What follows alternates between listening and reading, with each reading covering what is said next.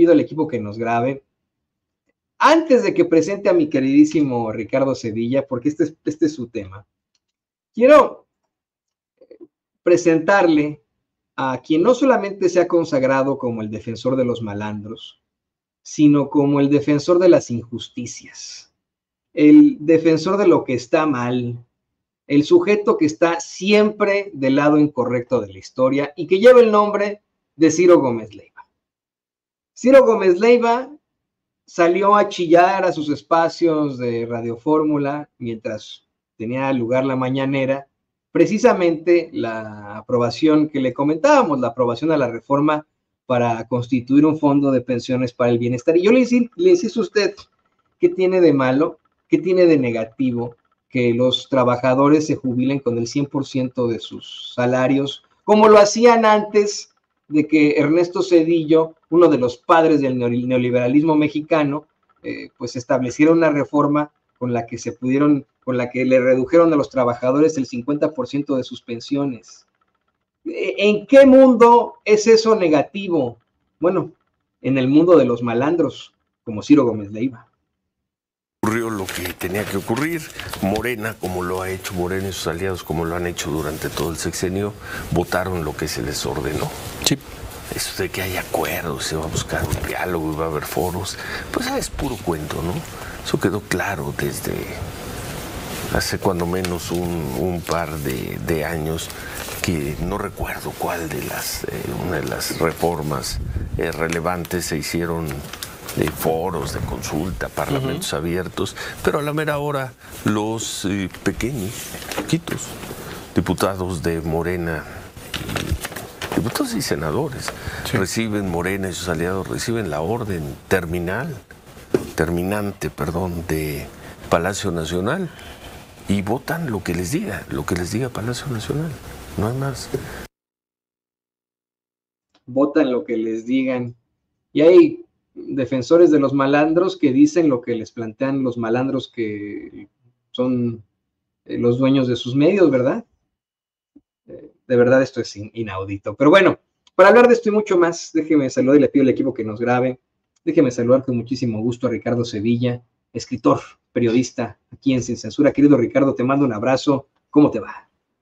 Abrazo recibido y plenamente correspondido, mi querido Toño. Me va bien me va de lo mejor, me encuentro muy contento justamente por esta aprobación. Y bueno, se entiende que Ciro Gómez Leiva esté enojadísimo, hasta se equivoca de palabras, ya lo escuchó usted, dice que lo que les ordenan terminalmente. ¿Cómo que terminalmente? O sea, los diputados están condenados a, una enfermedad terminal. ¿De qué habla Ciro Gómez Leiva? Está que se come las uñas este señor que de una u otra forma, mi querido Toño, es el amigo de Pascal Beltrán del Río, que sí, tienes toda la razón, te estaba yo escuchando con mucha atención. Le enoja, le enardece que le digan Pascual, se enoja muchísimo, pero pues estamos listos, mi querido Toño, para hablar sobre este tema que es de la mayor relevancia para el país y en particular para los adultos mayores. Yo insisto hasta el cansancio, querido Ricardo. ¿Con qué cara ¿O quién en su sano juicio podría criticar que un trabajador se jubile con el 100% de su salario? Se entendería de la gente malvada, de los propietarios malvados que eh, explotan o sobreexplotan a sus trabajadores, pero que salgan a sus medios de comunicación, eh, que tengan esa responsabilidad de estar al frente de un micrófono como la tiene el defensor de los malandros, Ciro Gómez Leiva, y que enfrente a estos micrófonos confunda a los mexicanos y les diga que es negativo que se haya aprobado este fondo de pensiones para el bienestar.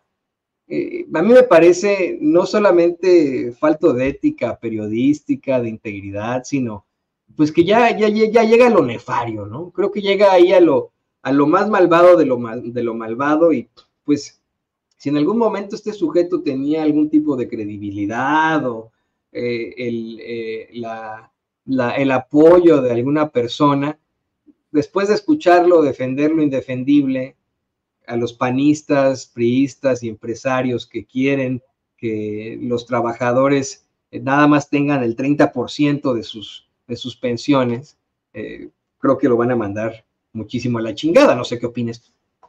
Por supuesto, Toño, estoy, coincido plenamente contigo. Este sujeto en algún momento tuvo una cierta credibilidad, pero hace mucho tiempo de eso, muchos cabellos atrás, muchas barbas atrás, porque si usted viera a mm, comparar a este personaje que ahora se sienta ahí, como dices tú, mi querido Toño, en la cueva de los malandros, y lo equiparara con el Ciro Gómez Leiva, que tenía barba, que tenía lentes, que parecía que era una promesa del periodismo, pues bueno, eso se acabó. Quedó muy, pero muy atrás en un pasado, en un pasado del que yo creo Ciro más adelante va a enorgullecerse y se va a avergonzar de este presente. En fin, como bien apunta Toño, ayer en la Cámara de Diputados se aprobó la creación del Fondo de Pensiones para el Bienestar y esta reforma, hay que decirla, impulsada por el Partido Morena y especialmente por el gobierno federal, fue avalada. Qué bueno, hay que aplaudir 252 votos a favor, pelea fuerte, 202 en contra y cuatro abstenciones. Y hay que decir las cosas de manera tajante, Toño. Ha sido una victoria rotunda para el pueblo de México y le voy a decir por qué. Porque pensionarse, como bien dice Toño, con el 100%, pues es maravilloso. Con un ingreso igual al último salario, percibido. Eso es una gran conquista. La oposición, como Ciro y otros personajes, pueden decir y despotricar cuanto quieran, pero ha sido un gran avance para la sociedad mexicana y le decía yo al principio de la intervención, en concreto para los adultos mayores tan descuidados, tan lacerados en otros sexenios. Y es que, mire, el objetivo de crear este fondo de pensiones para el bienestar es que las personas que cotizan desde el primero de julio de 1997 y son millones, puedan obtener una pensión del 100% de su último salario una vez que lleguen a la edad del retiro, cuando ya se vayan a descansar merecidamente. Pero los analistas, los voceros del corporativismo, usted ya los conoce, tienen la consigna bien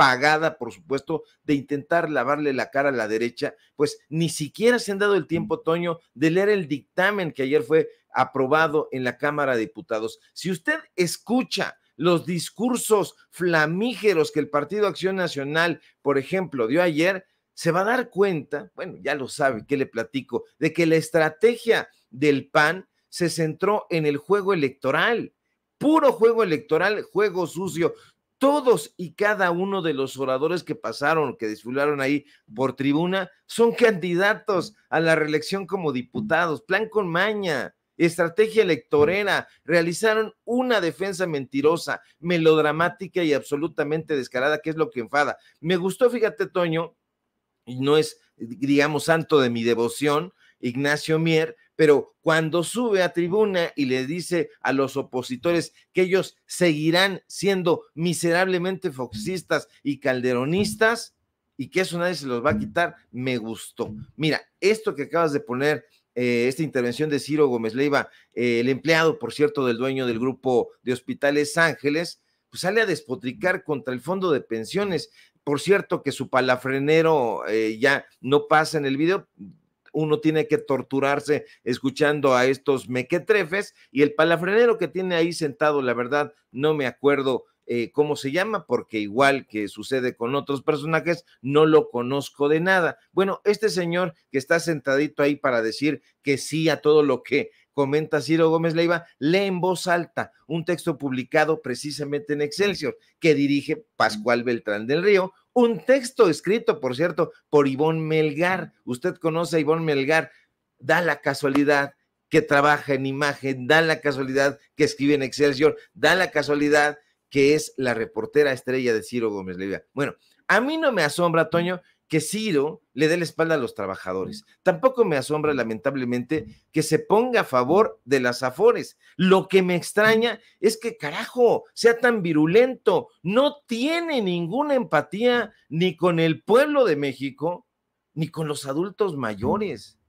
No es cierto esto de, eh, ah, es que los morenistas, eh, como acostumbran desde todo el sexenio, votan lo que les dicen, lo que les ordenen. Bueno, él es periodista o dice ser periodista. Si tiene esa información, esos audios, esos videos, esos documentos visuales o, audiovisuales, que los dé a conocer.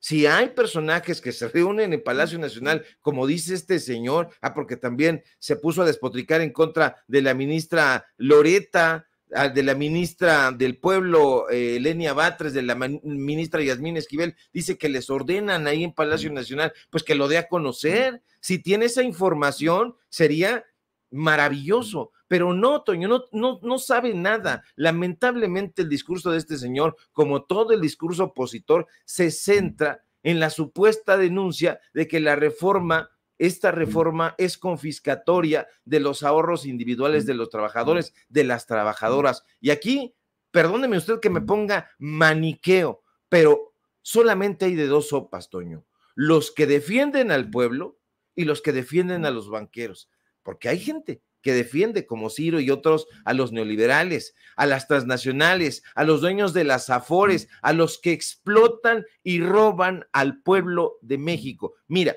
déjame un poquito más a fondo. El presidente López Obrador ha denunciado que el sexenio de Ernesto Cedillo y el de Felipe Calderón entregó a las afores las cuentas individuales de los trabajadores, pero hubo un gobierno intermedio que también hizo sus marranadas, que también hizo sus porquerías. Y me refiero, usted ya sabe, al gobierno de Fox. Él no queda indemne, no para nada. Hay que hablar con datos duros. Déjeme recordarle a usted que el 15 de diciembre de 2002, tenía dos años de haber desembarcado ahí en Los Pinos porque les gustaba esa residencia aparatosa. Vicente Fox, pues ahí propuso una reforma para agenciarse una muy buena lana. Quería, él propuso disponer 20 mil millones de pesos de las cuentas inactivas. ¿Y qué cree? Que la votaron. ¿Y qué cree? Que fue votada prácticamente de manera unánime. Entonces, hay que dar los datos duros. Esta es una victoria para el pueblo de México. Por supuesto, es un golpe para los, neoliberales y están enojadísimos precisamente por eso. Que el fondo eh, va a ser financiado con lo que se atraque el gobierno federal de, de los ahorros, eso es una mentira una mentira. ¿Por qué? Porque el fondo en realidad va a ser financiado por diversas fuentes, los ingresos, buena parte del instituto, para devolver al pueblo lo robado. Qué interesante que todo esto que se confisca y que viene de, de, de, cosas que han lesionado al pueblo de México, pues vaya a financiar este fondo también va a haber entidades paraestatales eh, sectorizadas que van a participar. Qué bueno, es de celebrarse las, eh, la Secretaría de la Defensa Nacional, la Secretaría de, Marina, el, Aeropuerto Internacional Felipe Ángeles, el Tren Maya, van a aportar recursos también. Entonces, a mí me parece maravilloso y estoy completamente de acuerdo contigo, Toño. No podemos admitir que un personaje como Ciro Gómez Leiva, como Loret, como los medios de comunicación, Reforma Universal, Financiero, Milenio, etcétera, etcétera, continúen impulsando esta narrativa, porque además de ser chocosa, de ser chocante, está dándonos a conocer cuáles son las verdaderas em, estrategias de estos personajes. Esto, este fondo de pensiones para el bienestar, insisto, es una gran conquista para los trabajadores. ¿Por qué? Porque garantiza una jubilación digna con ingresos iguales al último salario. ¿Quién no quiere que nuestros adultos mayores, que nosotros ya vamos para allá, puedan gozar de toda una vida de trabajo? Desde mi punto de vista, Toño, es importantísimo apoyar esta reforma y garantizar lo que todo mundo quiere al final de su vida laboral una jubilación digna para todos los trabajadores, para todas las trabajadoras de este país. Y es ponerle clavos al ataúd de la oposición. También es político, hay que decirlo con todas sus letras. O sea, ¿qué, crees tú, querido Ricardo, que va a votar el trabajador promedio ahora que los eh, diputados y diputadas del PAN, del PRI, del PRD votaron en contra de que ese trabajador y trabajadora promedio se jubile con el 100% de su de su salario, pues, pues, los van a mandar directito a la chingada. Pero mira, Le voy a pedir al equipo que nos grabe para mostrarte esto. Sé que ya lo has visto, el, público tal vez no. Otra vez el doctor Noroña se la recetó a la oposición.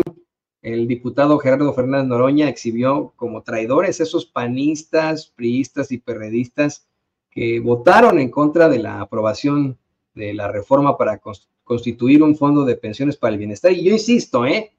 ¿En qué cabeza cabe el oponerse a que los trabajadores obtengan el 100% de su salario cuando se jubilen? de la ley de Cedillo que despojaba a los trabajadores de su fondo y lo mandaba a cuentas privadas. Eso hizo Acción Nacional. Y hoy Acción Nacional está defendiendo la reforma hecha por el PRI en contra de los trabajadores y trabajadoras del pueblo de México que se creyeron el cuento que en cuentas individuales les iba a ir mejor y hoy la gente que se pensiona recibe solo el 30%. Eso es lo que están defendiendo, que la gente reciba solo 30% de su salario en la pensión y que los bancos sigan disfrutando de los 6 billones de pesos del ahorro de los trabajadores y trabajadoras. Y son tan mezquinos que solo 40 mil millones de pesos de esos 6 billones irían a un fondo para garantizar que a partir de 2027 efectivamente es una ley que va a beneficiar al pueblo a futuro. La mayoría de los trabajadores y trabajadoras empezarán a pensionarse en 2027 y para que sepan que tenemos razón, solo van a recibir el 30% de su salario. Y con el fondo de pensiones para el bienestar van a recibir el otro 70% y se liquidarán con el 100% de su salario. Eso es lo que estamos proponiendo y esto es a lo que se oponen. Y están con los medios diciendo que nos queremos robar el dinero. Y cuando el cabeza hueca de Fox en 2012 robó 20 mil millones de pesos, callaron como momias, votaron el PRI y el PAN a favor. Se los recuerdo claramente. Pandilla de farsantes y de saqueadores. Defienden a la banca extranjera frente a los intereses del pueblo. Pareciera, bueno, como ustedes si han hecho un patrimonio y no van a recibir pensiones porque han hecho negocios al cobijo del poder, no les importa que llegarán a los 60 años y solo recibirán el 60% de su salario, no les importa. Pero la mayoría del pueblo que trabaja y se esfuerza y que no hace negocios al cobijo del poder, como el PRI, PAN, PRD, y Movimiento Ciudadano que dice que es una opción diferente, pero vota todo con el PRI, PAN, PRD. Son lo mismo. Por eso, por eso. Bueno, pues ahí tienen al doctor Noroña recetando la fuerte. Ya son todos los videos, amigo David. Ya los tenemos todos. Para, no quiero que me, me... Ah, tenemos uno más. A ver, veamos y escuchemos. A quien están defendiendo es a la banca privada que no ha entregado 40 mil millones de pesos que debería enterar al Instituto Mexicano del Seguro Social. Está en la ley que deben entregar ese dinero y ustedes están defendiendo a la banca extranjera que tiene 6 billones de pesos del ahorro de las trabajadoras y trabajadores. Son unos miserables porque dicen aquí que están preocupados por los trabajadores y trabajadoras y a quien están defendiendo es a la banca privada, a quien cumpla la ley, a que entregue esos recursos que no se han movido en 10 años. Pido, diputada presidente, que dejen de brincar como chinicuiles en comal y que aguanten la medicina. Sí, pues no la aguantaron, no aguantaron las inyecciones. Eh, querido Ricardo, querido público consentidor, déjenme sumar a esta transmisión y le pido al equipo que nos grabe. Permítanme sumar al queridísimo Vicente Serrano, con quien nos enlazamos y quien ha estado muy, muy pendiente de la aprobación eh, que estamos platicando, de esta aprobación de la reforma para constituir un fondo de pensiones para el bienestar, en, algo que pues él estará de acuerdo conmigo. ¿Quién podría cuestionar el que los trabajadores se jubilen con el 100% de su salario? Querido Vicente, te saludo. Estamos con Ricardo Sevilla. ¿Cómo estás? ¿Cómo estás, Toño? Te saludo con mucho gusto. Espero que se escuche bien y se vea bien, ¿eh? Te saludo con mucho gusto, Ricardo Sevilla. Qué chingón discurso de Gerardo Fernández Noroña, ¿eh? Si es amigo eh, y puede tomarse a cebollazo, pero solamente un personaje, un legislador como Gerardo Fernández Noroña, para ponerlo tan claro, ¿quién podría estar en contra de un retiro completo, justo para los trabajadores mexicanos, un culero. Solamente así, poniéndolo en términos eh, de sin censura, mi querido Toño, mi querido Ricardo. Y este discurso, yo creo que es uno de los mejores discursos del diputado Gerardo Fernández Noroña. Bueno, en mi opinión. Y bueno, el tema, pues más claro ni el agua. Los que están en contra de lo que se aprobó, los que votaron en contra, están en contra de los trabajadores, de la gente de a pie, de esa gente que percibía o recibía o aspiraba a tener el 30% de lo que le correspondía. Más claro, no se puede. Y ojalá que después de este voto, después de este tema, la gente esté más despierta, con los eh, ojos más abiertos, mi querido Ricardo Sevilla, para que pueda decir, ni un voto al Prianredé, al Prianredé pues, mi querido Ricardo Sevilla. Es correcto, Vicente. Fíjate, estamos del mismo color. Hay que formar nuestro propio club. Es cierto, fíjate en nada más, esto que estás comentando me parece muy adecuado y muy pertinente. Solamente los trabajadores y las trabajadoras recibían, pero además siguen recibiendo el 30%, porque esta reforma apenas pasa la, eh, la primera aduana. Eh, después de esto tendrá que ir al Senado y por supuesto eh, habrá algunos otros procesos que eh, seguramente se inconformarán, tratarán de llevarlo a la Suprema Corte de Justicia para que la anule. Usted ya sabe cómo se ampara la oposición para que esto no se lleve a buen puerto recibían únicamente el 30%. Le ponemos casos y el presidente lo acaba de dar a conocer, lo ha estado dando a conocer en estos días, pero hoy concretamente pone un caso. 10 mil pesos que ganaba el trabajador o la trabajadora en su último salario como trabajador o trabajadora activa, aquí lo está usted viendo en pantalla, la pensión ley 1973, y que le entregaban en el momento en que decidía ya retirarse, 2.700 pesos. Precisamente por eso, muchísima gente dijo, pues yo ya estoy cansado de trabajar, llevo más de 35, 40 años, hasta 50 años cotizando, pero si me pensiono, me van a reducir el salario. Y eso significaba y continúa significando, porque todavía no está eh, esta mm, reforma, no es ley, ojalá que sí sea, hagamos votos para que así sea. Por eso la gente seguía trabajando.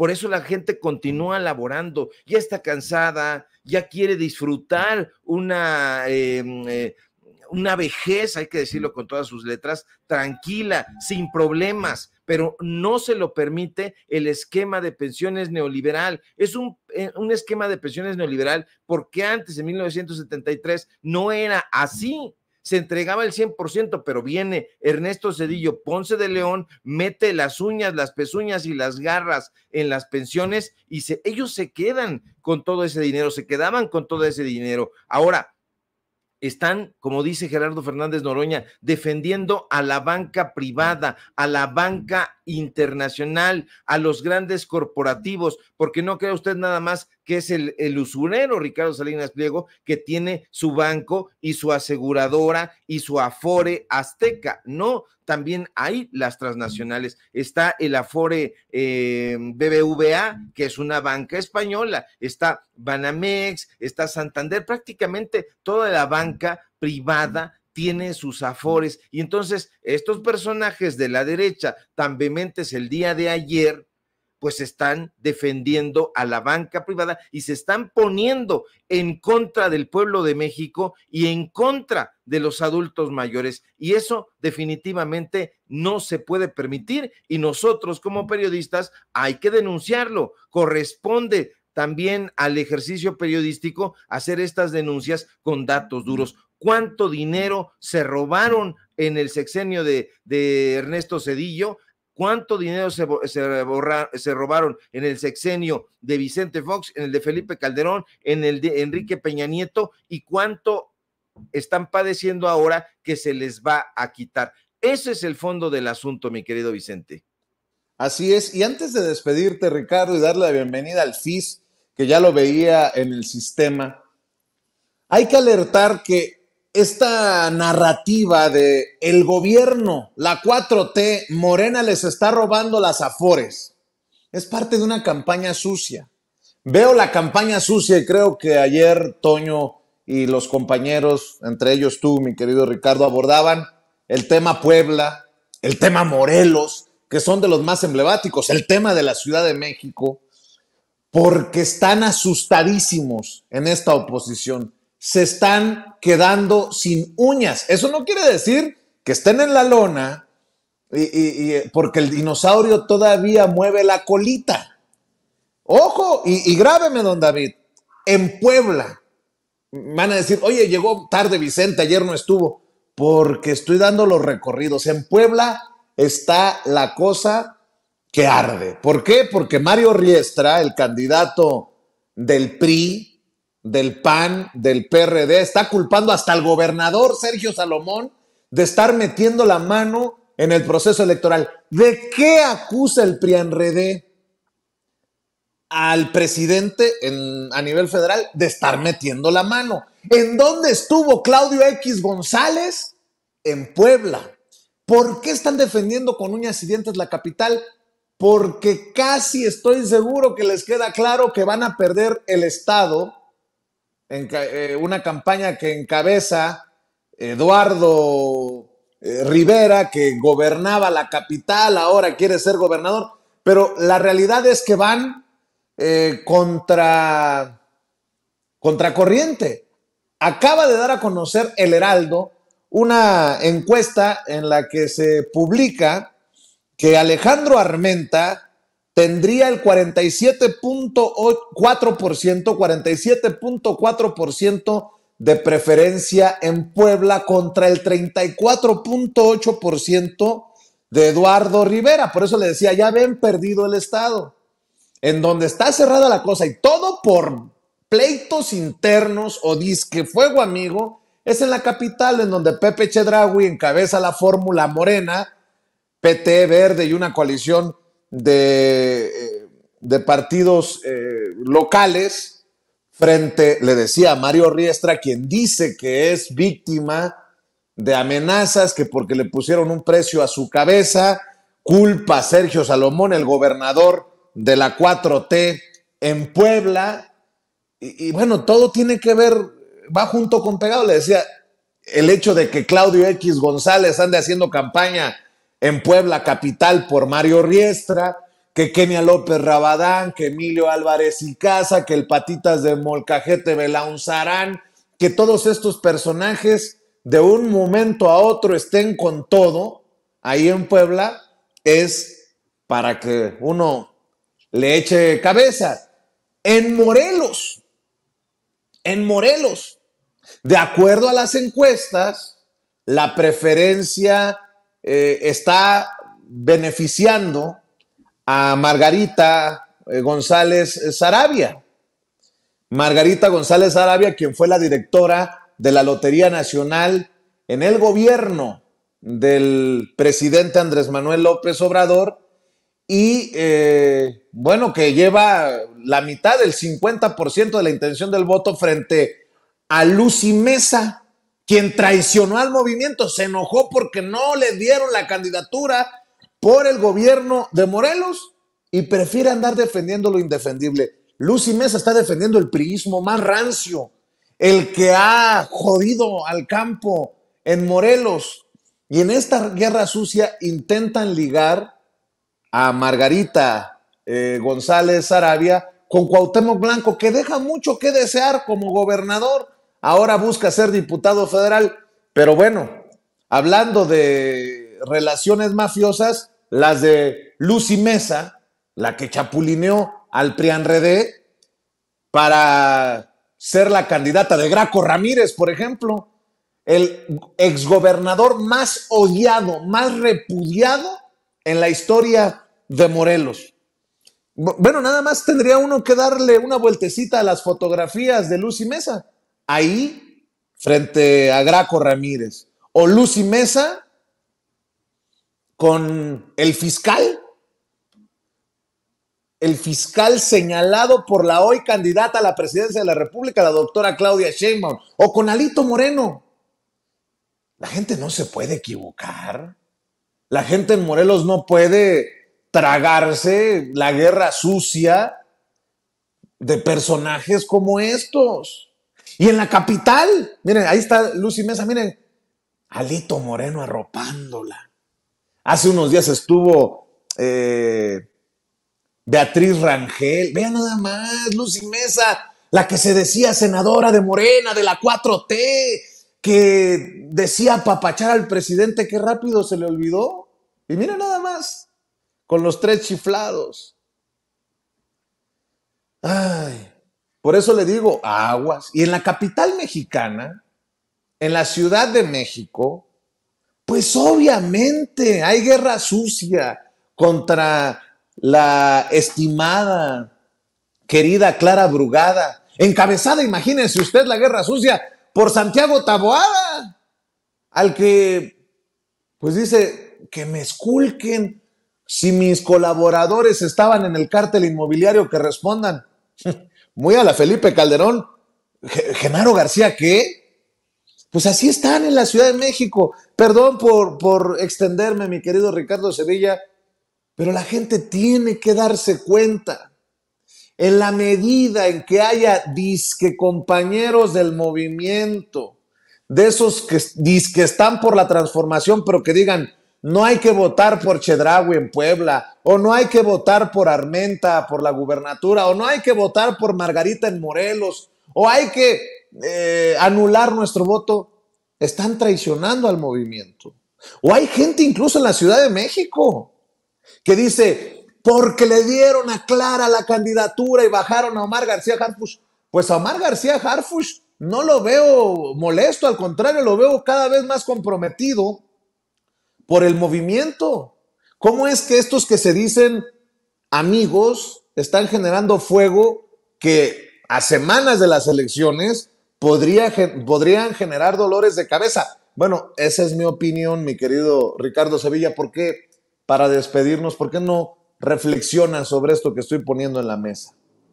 Sí, efectivamente, Lucy Mesa, bueno, pues ella es eh, la, la, mm, la, marioneta, vamos a decirlo con todas sus letras, de Graco eh, Ramírez. Por cierto que eh, allá en la, en la casa de Graco Ramírez se reunía Enrique Krause, se reunía todo el grupito este de letras libres porque mm, Laura Emilia Pacheco tiene vínculos vínculos de familia con Graco Ramírez, eso se dice poco porque se dicen eh, cosas, eh, los, los comunicadores políticos no quieren caer mal, no quieren caer pesado. Sí, hay varios grupos en Morena y, y Morena tiene que ponerse las pilas también en esa parte porque ya hay que dejarse de cuentos. Eh, la, la gente está detectando a estos chapulines, a esta gente que solamente ve el crecimiento del partido y dice, bueno, pues yo me voy a incorporar ahí, entonces llegan con el cuento de la estructura llegan con el cuento de yo voy a traer más votos y entonces pues la gente me va a aceptar así como así. No, hay perfiles muy cuestionables, hay perfiles que, que, tienen que ser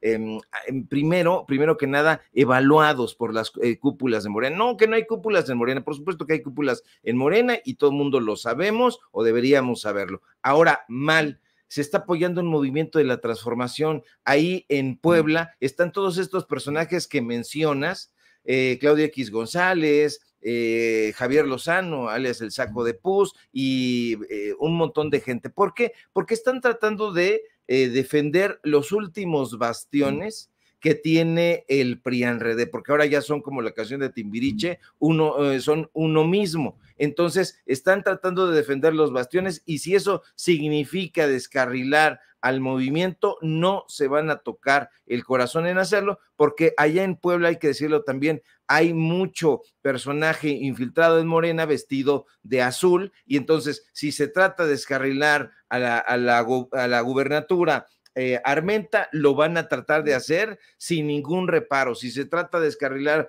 a Chedraui, también lo van a hacer con todo descaro. Entonces, ¿qué es lo que hay que hacer? Informar quién está detrás de esos grupos golpistas, informar quién está detrás de los embates en la prensa, en los mentideros políticos, eh, detrás de estas campañas sucias que ya anticipaban en Foro TV el Güero Castañeda, que se iban a llevar a cabo y que se iban a recrudecer. Se están recrudeciendo. Afortunadamente, el pueblo está informado y el pueblo tiene curiosidad y tiene deseo de que las cosas cambien auténticamente y que haya el, eh, segundo piso de la transformación, pero que además se construya un edificio de la transformación y eso va a llevar eh, varios, varios eh, gobiernos y la gente sinceramente lo quiere hacer. Y eso mismo está pasando en Querétaro, está pasando ahí en Morelos, está pasando en muchísimos estados y precisamente de ahí la importancia de asomarse a ese México profundo que la derecha sencillamente pues le vale un cacahuate y haces muy bien en poner la lupa ahí en estos estados, Vicente, porque ahí están tratando de llevar a cabo una defensa de los últimos bastiones de ese priismo rancio, ahora eh, travestido de panismo y de perredismo y de quién sabe cuántas cosas. En fin,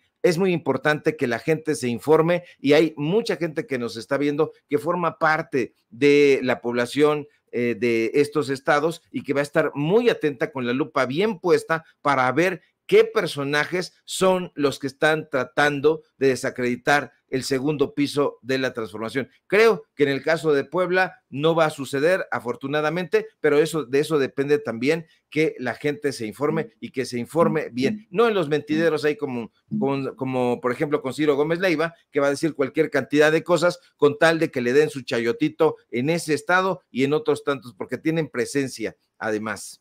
Imagínate nada más para cerrar que hay gente que dice, yo no voy a votar por Chedraui ¿Y por quién vas a votar?